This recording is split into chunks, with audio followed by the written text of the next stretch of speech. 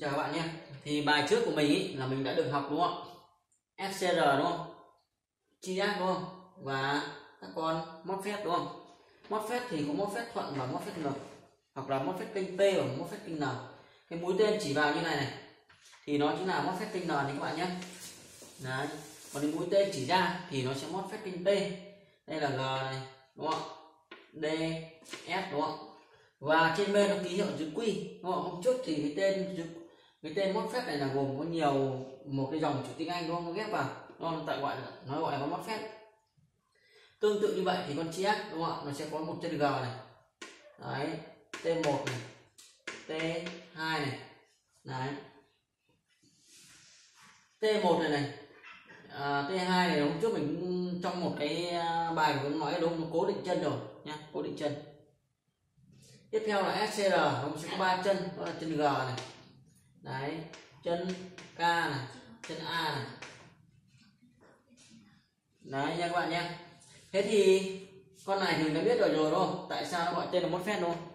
Còn con con chi con con chi ác này các bạn này nó viết tắt cụm từ chiot for antonin current nó viết tắt ở cụm từ này t này. Um, nó viết tắt ở từ ờ, chữ tr đấy các bạn nhé. Uh, chi ác chi ác a này c này các bạn thấy không đây là từ chữ các bạn nhé. Viết tắt như thế. Thế thì à, nó trên bên nó sẽ ký hiệu chữ tr và hình dáng như thế này đúng không và một cái ký hiệu như thế này hình và chữ là tr tiếp theo là con này con thirito đúng không? Thirito của mình. Tên tiếng anh của nó là gì? Silicon control red à, red tifer gì đấy fill gì đấy. Và nó viết tắt cụm từ này s này c này và r đây này. Đấy, người ta gọi là scr này các bạn nhé. Thế thì sau khi mình học xong cái này đúng không? Thì bây giờ mình sẽ tiến hành mình đo đạc để xem xem là ba con này đo đạc nó khác nhau cái điểm gì. Và cách đo đạc ra làm sao. Mặc dù hôm trước mình cũng đã có rồi đúng không? Mình có hướng dẫn các bạn là đo đạc rồi. Tuy nhiên hôm nay mình sẽ đo thực tế các bạn nhé. Đây nha các bạn nhé. Thì trước tiên mình sẽ đo gì? Đó là con mót phép đúng không ạ? Mót phép đúng không? Mót phép thì mình như mình bảo rồi. Mót phép và IGBT thì có chân nó tương đối là giống nhau. Đó là khi mình lật cái cái chiều chữ của nó lên, trên ờ, lên lên đây này. Đấy, cái chiều chữ nó lên đây này, lên lên hướng của mình này. Thì chân một nó luôn luôn là chân g nhé. G, d, s. Còn con IGBT nó là g, c e chưa? Thế thì bây giờ mình sẽ hướng dẫn các bạn đo nhé. Trước tiên này bởi vì bên trong nó có một con diode ở giữa mối nối DS hoặc là mối nối CE đâu, tức là hai cái mối nối cho hai và ba này.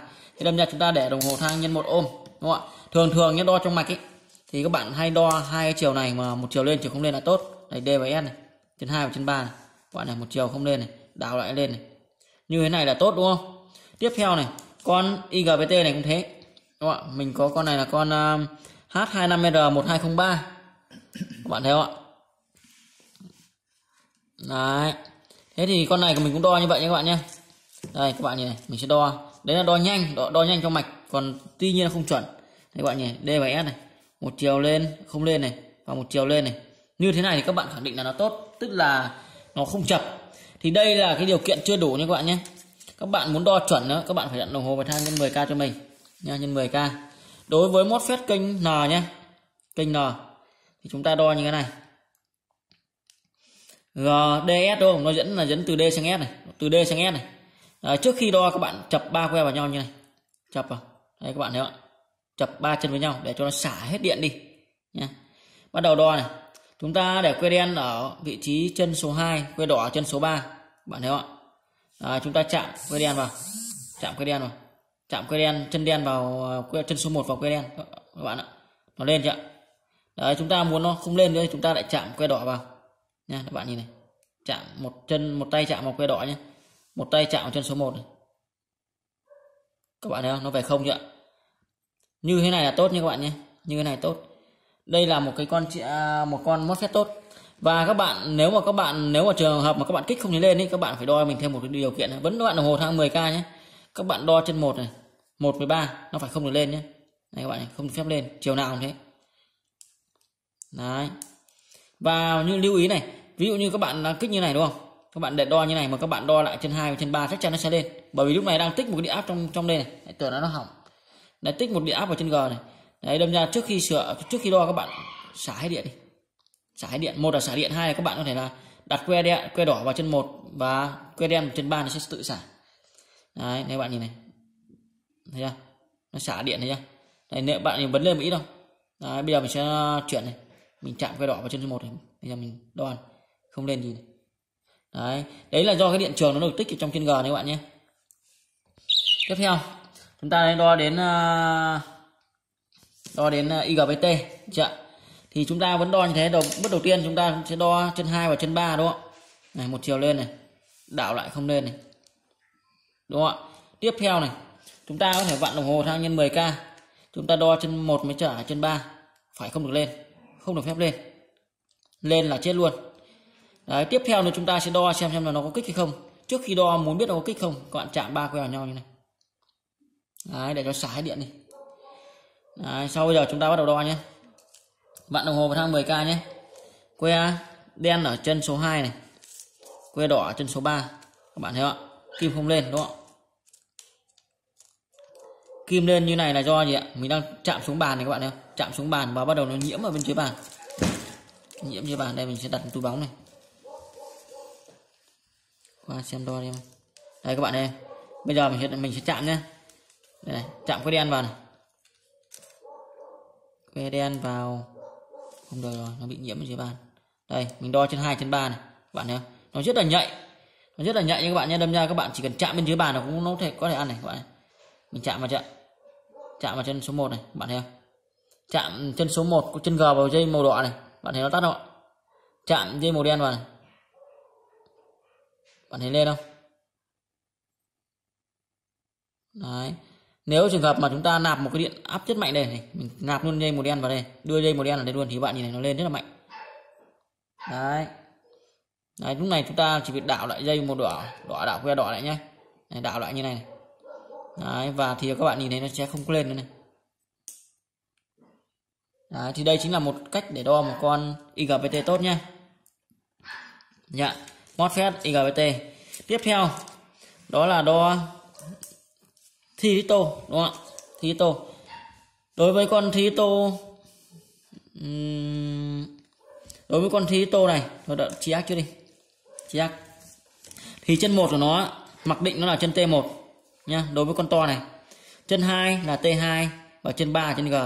Còn đối với con nhỏ này, thì chân 1 nó là T1 chân 2 là chân G, chân 3 là chân T2 đúng không ạ? Như hôm trước mình bảo rồi, riêng cái chân T2 là cái chân mà các bạn đo nó không phải lên, nó không được lên kim với bất kỳ chân nào còn lại, đúng không ạ? Thế bây giờ mình sẽ đo con nhỏ trước nhé. T1 này, G T2 đây là T2 đâu các bạn này vặn hẳn thang 10k luôn. Đây, mình đo nó không được phép thông bất kỳ chân nào. Các bạn nhìn này. Đấy, không thông đúng không? Đảo lại này. Không lên thấy chưa tiếp theo, các bạn vặn đồng hồ thang nhân một cho mình nhé đo chân G và T1 phải một chiều lên, ít và một chiều lên nhiều. Lên bằng nhau là chết. Bạn nhìn này, chiều này lên được số 13 nhé đảo que lại này. Đấy. các bạn thấy không ạ? Lên được số 18 thì ạ. Thì đây chính là một con chi ác tốt nhé con này BT 151 tiếp theo này, đối với con chi ác to thì chân nó có sự xáo trộn một chút. Đấy, thì chân một này này. Nó sẽ là chân T1 vẫn giống chân uh, giống con chi nhỏ. Không chân 2 này nó không phải chân G mà nó lại là chân T2 chân 3 này nó mới lại là chân G các bạn. Thế thì mình lại cũng bắt đầu bạn đồng hồ thang 10k nhé. Mình đo trước là chân T2 trước. Cứ T2 mà thông với các chân lá khác thì hỏng luôn không phải đo nữa. Đây chân 2 T2 đúng không? Các bạn. Đấy đạo chiều lại nó cũng không phép lên này. Tiếp tục đo chân bên này. T2 đo chân G cũng thế. Các bạn thấy không? Không lên như thế này chứng tỏ là con chiác này đang tạm không bị chập mấy chân đấy. Không chập T2 với các chân còn lại. Tiếp theo, mình đo vặn đồng hồ thang nhân một nhé. Nhân một. Mình đo giữa G và T1 nhé. Phải một chiều lên ít và một chiều không lên. À lên nhiều. Bạn thấy không? một chiều lên được 20 này. Thế đảo lại nó sẽ được lên tầm khoảng độ hơn 10 các bạn thấy không? được khối 10 này. 9 này. Bạn thấy không? như vậy đây là một con jack tốt nha các bạn nhé. Con jack tạm thời có thể coi là tốt. Còn các bạn muốn đo muốn biết nó chắc chắn tốt không các bạn phải tháo ra. Các bạn phải à, phải tháo chân điều khiển ra. Các bạn điều khiển bằng cái lệnh giả nhé như hôm trước mình có phân tích cho bạn rồi. Tiếp theo đây là một con Tito con này của mình nó là con BT 151 các bạn. À, ở BT 151 các bạn thấy không đấy. Con này là một con Tito nhé Tito thế thì con Tito này đo như sau. Chân này vẫn là chân G này các bạn này chân G chân số 3 này. Đối với những con to này Tito to này thường thường là như thế nhé chân G chân số 3 này.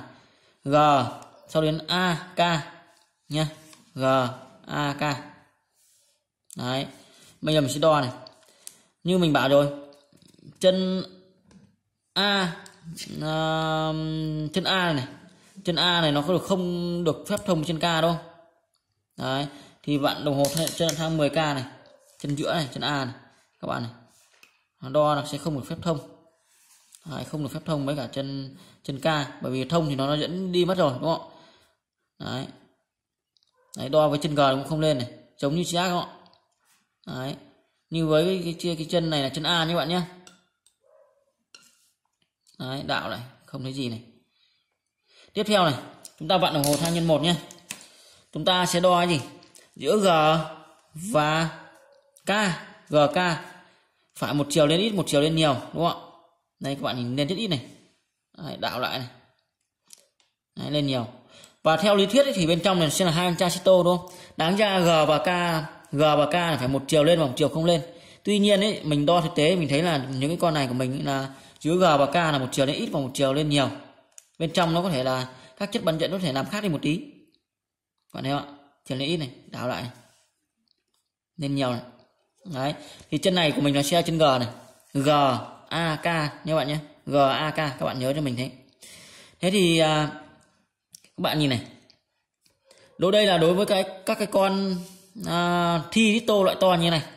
Nên mai nó có cả những cái loại tròn tròn tròn như này. Các bạn phải tra nó ra trên mạng nhé để xem xem chân g nó nằm ở đâu. Chân t 1 t 2 à, g đâu a đâu k đâu nhé. Tương tự như vậy đối với những cái con thi tô loại nhỏ thi tô bé thì các bạn cũng phải tra ra xem nó có giống chiác hay không đó xem chân nó bố trí giống không? Bởi vì thi tô mình rất ít khi gặp nha đâm ra mình không không biết cái chân cố định của nó liệu nó có cố định như là chi ác hay không? Các bạn lên uh, tìm hiểu lại cái con chi ác à thi tô lại bé như các bạn nhé. Còn thi tô lại to thì thường thường đây là chân g này. A này k này.